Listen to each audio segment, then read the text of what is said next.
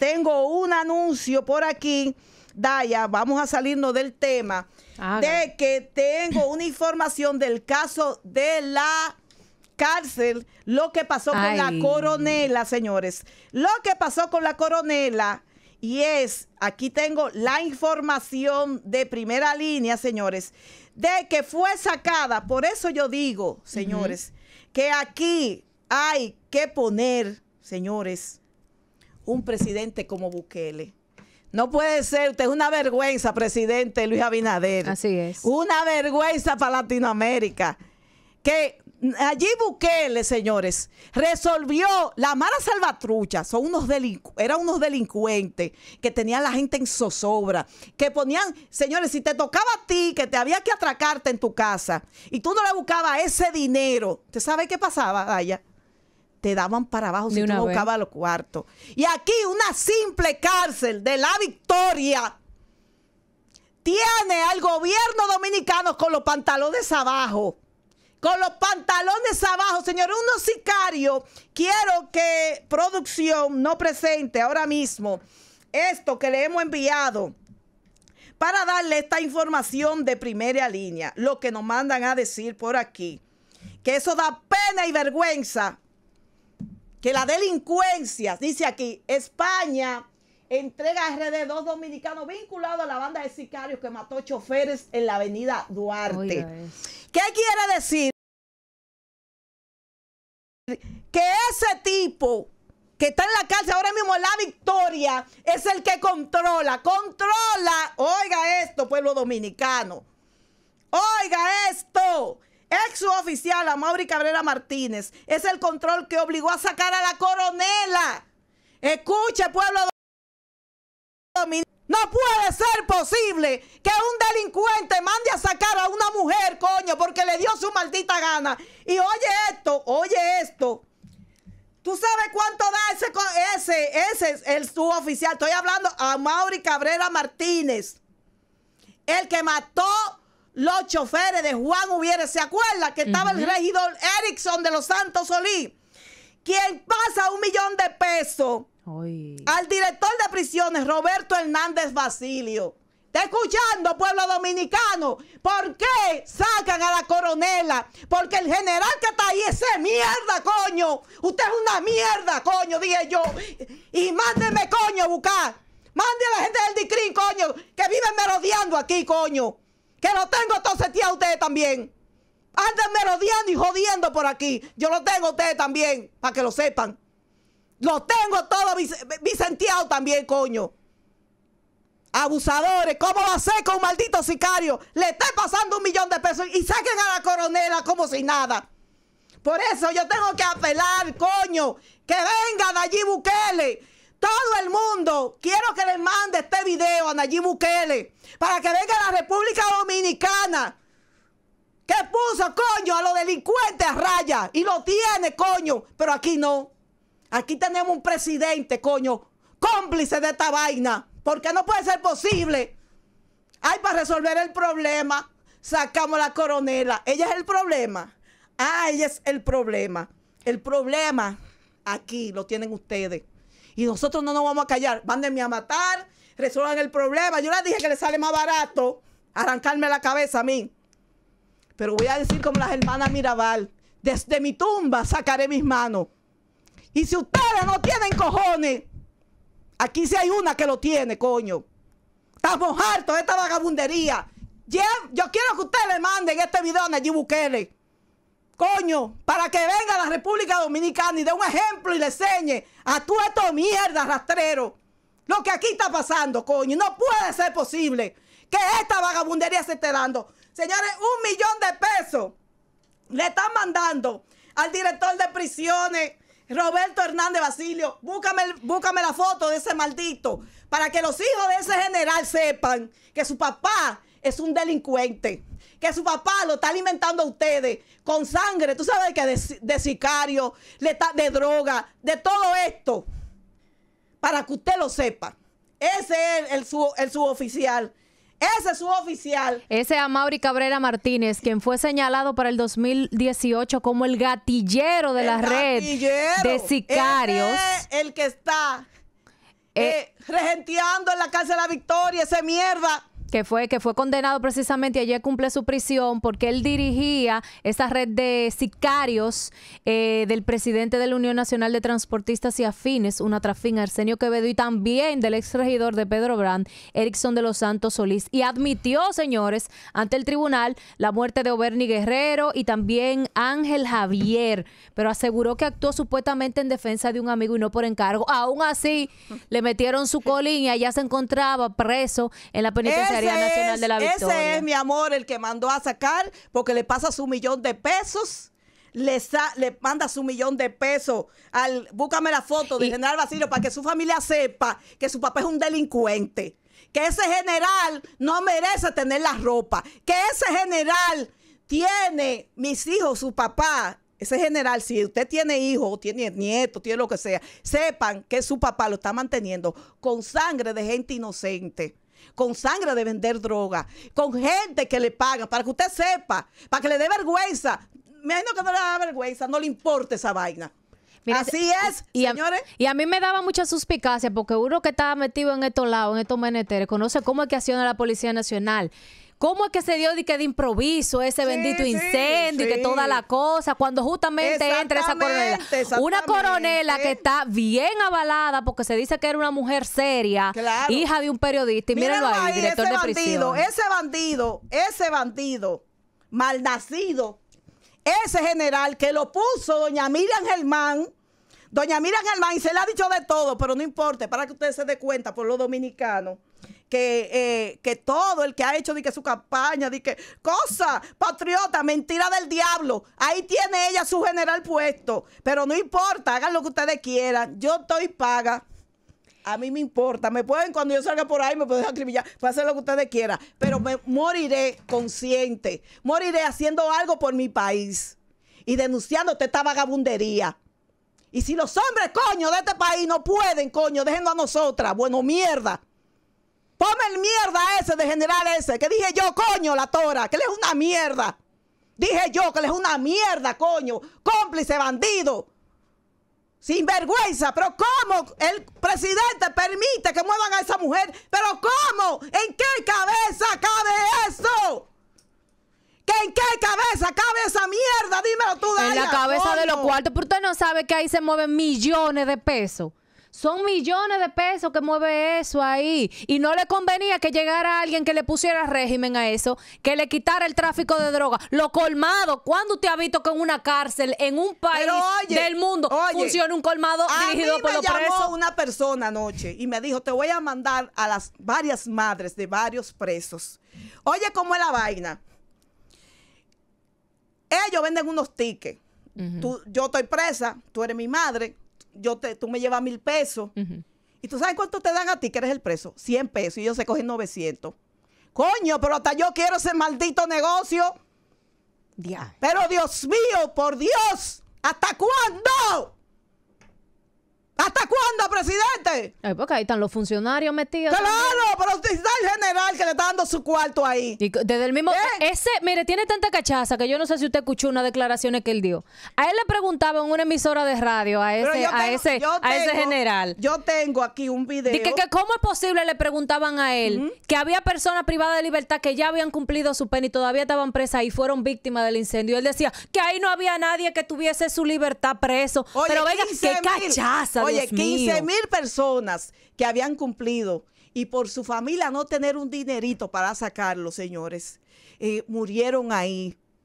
Murieron, hay 15 mil personas que estaban, que, que, que habían cumplido. Señores, ¿En qué país es que estamos viviendo? Por eso la gente, presidente de la República, darle vergüenza con esta vagabundería. Vamos a ver, señores, que en una rueda de prensa estuvo el, eh, eh, que eso es lo que dé vergüenza. A mí lo que me dé vergüenza esto me da vergüenza y pena porque la droga, el funcionamiento del narcotráfico, le romp, ya, declaren esta mierda ya libre de vaina y todo el mundo vende, hace su negocio, a, poner su punto, a, organizarlo bien porque está en toda la franca, pero que no sea solamente de un grupito. Vamos a ponerlo, ¿por qué se arma todo esto? Por tumbes que se dan. Entonces, esa mujer fue a ponerle, a, poner, orden. y la sacan Claro, porque, Porque porque, el- que no conviene el negocio, porque quién que le van, si ella va y pone orden, se acaban los millones de cuartos en tráfico de droga y en mercancía, en la llamada de extorsión que a veces le dicen, usted Claro. se sacó la loto con Maggie. Ajá, Todo eso es parte de esa estructura que beneficia no solo a, los a, los- a los policías que están ahí metidos, a los, di- a, la- a los alcaides de las cárceles, beneficia a ese director de prisiones, beneficia aquí a muchos funcionarios y a muchos diputados que son los que legislan también para que esa cárcel siga Pero operando ¿en qué igualita. cabeza cabe que el que quiere hacer la cosa bien lo sacan. Solamente en este país, señores. Solamente en este país sale una vaina así. Solamente. Vamos a ver el video, señores. De una explicación ahí. la operatividad que claramente es necesaria. ¿Y a dónde fue llevada? ¿Se quedó sin funciones la Ah, no, esa, esa, esa, creo que fue lo que tiene. Pero, pero que responda. Disculpe, no le puede Por favor. fue designada como comandante del Departamento de Protección Alimentaria. Jefe, pero ¿por qué se la llevaron tan rápido? Exacto. La Una mujer. circunstancia, la circunstancia y el momento así lo requería. Esto circunstancia y el momento Bueno, que ese- circunstancia que se le acabó su negocio usted verdad porque se también otro cómplice él él admite en, en ese en ese videito que puede circular que ella no hizo nada malo pero qué circunstancia había que, que La moverla circunstancia es que el negocio, el negocio de las drogas, el cual yo le vuelvo y le repito al jefe de la policía que estoy esperando su respuesta, si es verdad que él está vinculado a los temas de punto de droga, porque él era pobrecito y de la noche a la mañana es rico. Vos me todo lo que usted quiera. Yo estoy clara de todo lo que se está moviendo alrededor de mí para que el pueblo dominicano lo sepa. Tengo vigilancia del DICRIN. Aquí vienen ellos. Nosotros también lo, estamos viendo por todos los lados. Y tenemos informantes, porque así como ustedes le viven azarando la vida, nosotros también le tenemos a ustedes. Así que tranquilos, quietos todos. Que aquí nos conocemos todo en esta mierda. Pero si es lo que el pueblo quiere, que siga el entierro. Pero vuelvo y repito, van a venir unas madres a conversar con nosotros para que todo el mundo sepa el negocio a la franca que hay en la victoria. Hacen ese conato de cosas, incendian, vuelven a incendiar un colmado. Y hoy el jefe de la policía, ese mierda, dígale yo que yo dije que él es otra mierda, coño. Porque si los narcotraficantes lo están poniendo a él a comer mierda, yo también le puedo vocear mierda a él también. Responsablemente, y no vaya a pedir que no, eh, mira, yo le pido excusa al jefe de la policía, porque yo, mentira del diablo, coño, el que me conoce a mí sabe, coño, que yo no pido excusa, cuidado, me, me rompe el celular, que Que es importante que el jefe, que, espérese. mierda, que ese mierda. Entonces, ¿tú te crees que es posible eso? Esta generala, ponme la foto de ella ahí. Generala, para mí usted es generala, coño, usted no es coronela. Usted tiene más ovario que todo eso mierda. Marisabel Gil Cuente con nosotros, mi querida. Cuente con nosotros. Donde quiera que usted esté, cuente con esta mujer. hija de un comunicador un periodista de, de y fuste, esposa de un mayor general también. Porque ella es guapa, coño. La mujer, mi esposo me dijo una pregunta una vez. Que qué rango yo tenía. Ya tú sabes que él tenía dos estrellas. Dijo ella, ella era ella una jefa, coño, más grande que yo. Así mismo dijo Ole, que qué rango yo tenía. Y yo, bueno, si yo tengo dos, ya usted sabe la que ella tiene. Para que lo sepan.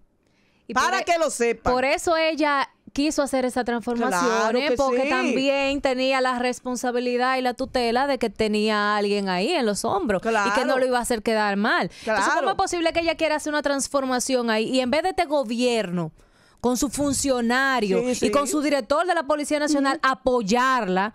Le dan la espalda. Señor, es que es impensable tú, tú creer que eso no fue planificado por los mismos presos. Ellos mismos grabándose con martillo y, y con una actitud cínica. Yo no sé si ustedes vieron los videos de ellos. Ay, que esto está pasando, que nos quieren matar. Y con una actitud de que nada está pasando, como que fue todo fingido. Me refiero a ese segundo conato de incendio. Sí. Como que fue todo fingido. Con el único fin y objetivo de terminarla de sacar, porque ella estaba haciendo el trabajo que debía de hacer ahí. Vuelvo y repito, nosotros tenemos en todos los sitios, tenemos gente y tenemos planta, por si usted no lo sabía. Y si ustedes me matan, tenemos más gente para que diga las cosas y contarla quién la hizo o dejó de hacer. Alguien tiene que hacer este trabajo y me tocó a mí. Y yo lo voy a hacer, mira, que no vaya a que ahorita y que no, que la actora viene. Ay, perdóname, fulano. Ay, qué sé yo qué. Lléveme, bota la maldita llave. Pero estamos hartos de tanta maldita mentira, coño, que le tienen a este país. Y vuelvo y repito, sabemos todo lo que ustedes hacen, lo mínimo. Por eso le digo, tenemos planta. Yo puedo salir, pero hay otros que quedarán por mí. Así que cójanlo a 10 y cojan su vuelta, mi amor, porque el que coge su cuarto tiene que coger su disgusto. Ay, Ponme la foto de nuevo del general Basili para que sus hijos, yo quiero que, que Camilo, por favor, el equipo de redes, agarre y ponga este para yo mandarle un mensaje a los hijos de este señor y a sus nietos, a sus queridas y a sus esposas. Ay. Este señor está cogiendo dinero de narcotráfico, por eso saca a la, a la coronela, la saca. Y si él está dando cuarto para usted vivir bien, es dinero de sangre de muerto, de narcotráfico, de violencia, para que ustedes tengan la vida que andan teniendo muchos hijos de, de jefes y de funcionarios. Eso está haciendo su padre. Para que usted lo sepa. Porque hay algunos de ellos dicen que ay mi familia, ay mis hijos. Mentira del diablo, aquí estamos nosotros. El que yo sé que nunca agarró, coño, una vaina de vida fue el mayor general Gustavo Jorge García. Que mis hijos me decían, mami, pero ahí andan los hijos de fulano con Mercedes Benz y modelo, pero andan presos. ¿Y dónde está tu papá? Tranquilo en su casa. ¿Dónde andamos nosotros? Tranquilo, tenemos la moral para hablar. Y como yo sé que eso es así, que se ventila en las casas de los generales, que los hijos andan con de todo, a costilla, ¿te sabe qué? Del narcotráfico y del sicariato. Volvemos y repetimos, vamos a poner la foto para que tú le, le leas a a Cena quién es el tipo que controla. No, pues si ellos no lo saben, nosotros se lo vamos a decir por aquí. De su panegírico, señores, aquella persona que está acusada de no, ponme el blanquito, el blanquito del teacher color naranja, que está siendo acusado de ser eh, uno de los tutumpotes de la Penitenciaría Nacional de la Victoria y que alegadamente le estaría bajando un millón de pesos al general director de prisiones de la República Dominicana. Este es Amaury Cabrera Martínez, señalado como el gatillero de la red de sicarios que supuestamente dirigía, pero ya también se le está en punto de probar pese a todos los procesos que ha seguido el presidente de la Unión Nacional de Transportistas y Afines, una trafín, Arsenio Quevedo, y también del regidor de Pedro Brán, Erickson de los Santos Solís. Este fue condenado a la victoria porque admitió ante el tribunal que mató a Oberni Guerrero y a Ángel Javier, unos choferes del transporte público de precisamente eh, Juan Ubieres en toda esa zona de la autopista Duarte de la República Dominicana. Este sería el tutumpote que estaría moviendo sus hilos para sacar a la coronela. Atento a soborno. Así es, señores. Por eso mandé una foto. Señores, ese eh, sicario que está preso ahora, que es el que el gobierno, el que da los cuartos, el que decide quién va y no va en la victoria, eh, es el lugar teniente de Erickson de los Santos Solís. Señores, cuando se armó el problema de este tema de, de, de, de, de sicariato, el asunto del transporte, él utiliza, ellos dos fueron allá, Erickson de los Santos Solís, señores. Pam, papá, porque Erickson así de frío, Erickson va, como pasó con Zenón Montero, Erickson va. eh, le acuerda que le hice la historia de cómo él mató a, Er- al Zenón Montero, teniente de la Policía Nacional, y cómo Cristian Encarnación le dio 300 mil pesos a un coronel que estaba, que estaba depuesto en ese entonces, y Erickson andaba en la calle. ¿Qué pasa? Aparecí yo. Me hicieron una vaina. ¿Tú sabes lo que me hicieron esos tigres en la campaña? Ay, pues yo era madre. candidata. Mi amor, esos tigres me compran a todo el mundo. Yo dije, no te preocupes. Pásale la maldad. Le- pero yo le he hecho la maldad, mi amor. Cayó cinco años preso y duré 10 años detrás de él. Y no me tranquilicé hasta que no lo vi preso. Y él donde quiera que me dijeron, no, mi amor, di que tú dijiste que me iba a dar tiro, aprovecha que ando sola. No hemos visto, no por todos los sitios hemos visto. Dice, tú eres una maldita loca. Un día me llamó y me dijo, te voy a mandar una ajice. Yo cogí mi ajice. A mí no me importa. Yo cogí mi ajice. ¿No y me llamó. envenenado? No, a mí no me importa. Me dice, yo, yo creo que tú estás enamorado de mí. Ay, sí, yo me enamoro así como una maldita. Así que yo me enamoro en demonía. Ya tú sabes. Entonces, cuando agarran así, Jenny Berenice, por eso que vengo, tengo mi dolín con Jenny Berenice, porque Jenny Berenice no tenía caso. El caso se lo hago yo a Jenny. Y presento, señor, a mí me han dicho que él tenía una ficha por haber matado a un teniente. Exacto. Yo me tiré a la policía. Casi me chuleo dos malditos feos de la policía, mana. Cuando yo vi que esos tigres me sacan esa ficha. Ay, vio la gloria. Ah, no, mi amor, patiga para que te tengo. Casi estaba yo chuleando con un apellido Rosario. Debe Ay, de ser ay, ay. ahora. Él debe de ser coronel ahora. Casi me chuleo que era jurídico allá. Todo el mundo debe saber en la policía quién Ay, era. ay, ay. Conseguí yo a su amorito, mi hermana. Mira, y ya estábamos casi en chuleo, hermana. Cuando ese tipo me consiguió esa ficha Arrancó. y la publiqué y todo el mundo, ah, tú lo que le tiene envidia eres Sandra Santos. Mm. ¿Qué pasa? Cuando Juan Hubiera me dice a mi tora, ¿tú quieres hablar con Jenny? Yo, sí, sí, no hay problema. Voy a donde Jenny. Jenny me dice, de que, ven acá, ¿de verdad que tú tienes una vaina? Yo, sí, la tengo aquí. Porque yo guardo muchísima vaina. Yo a todo el mundo le tengo su expediente. Para el día que tengo que sacarse y se lo saco ahí. Cuando me de Jenny, de me dice Jenny, di que, Tora, pero esa, eso yo no lo encuentro por ningún lado. Yo, ah, bueno, pues lo hice yo, lo hizo el coronel. Yo se lo dejé, mi amor. Cuando ella le mandó ese al jefe de la policía, que era Castro Castillo en ese momento, Castro dijo, sí, pero yo tengo eso aquí. Y ahí fue que yo le hice el caso. Por eso que yo vivo dolida con Jenny Berenice, porque yo fui que le hice ese caso a ella. Y oye, ¿dónde resalta Ori Brinca que eh, el cinqueño, mi amigo que también me llama, ellos me llaman todos. ¿Y qué tú quieres que Ellos yo haga? Hablo saben. con ellos, porque Ellos es personal. saben, porque- Es personal este tema. No. Yo no le tengo odio, no le tengo envidia. Pero si hay algo mal hecho, hay que Hay que decirlo. decir, yo lo digo. Y ellos lo saben, ellos me ven y se ríen. Y el- lo último que dijo Eric Sol Santos Solís, que el que me viera, yo tenía en, esa, en ese tiempo una Ford 150. Y yo agarré y, y andaba en esa Ford y decía que tú el que se montara y le van a dar tiro. Entonces yo me tiré a un punto de droga y le dije, aquí estoy, mija, pero aprovecha ahora y cáeme a tiro, cáeme a tiro. Madre, así de todo.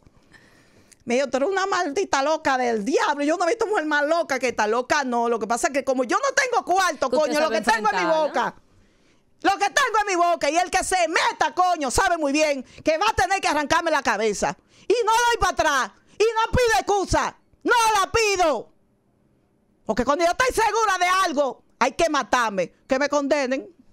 Yo estoy preparada, mi amor, con mis ti- así como vaina para llamar. Voy, son 200 mil pesos que cuesta una habitación, Daya.